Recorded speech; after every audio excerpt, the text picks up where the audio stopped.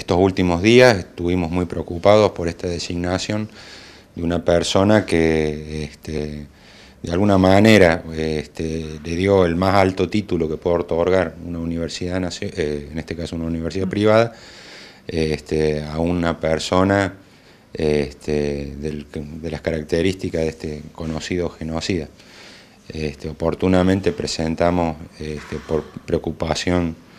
de varios consejeros un pedido para que el Consejo Superior analice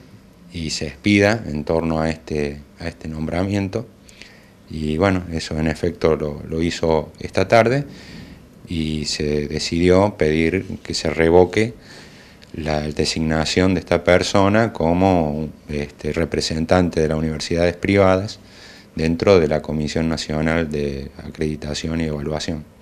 ¿Sorprende que estas cuestiones estén pasando en los tiempos que corres y ya evaluando lo que ha representado la dictadura para la Argentina?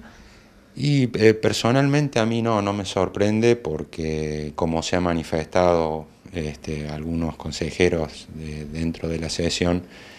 eh, días pasados el ministro de Educación Esteban Bullrich tuvo una,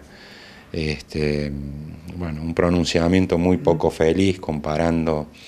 este, la acción educativa con la campaña del desierto.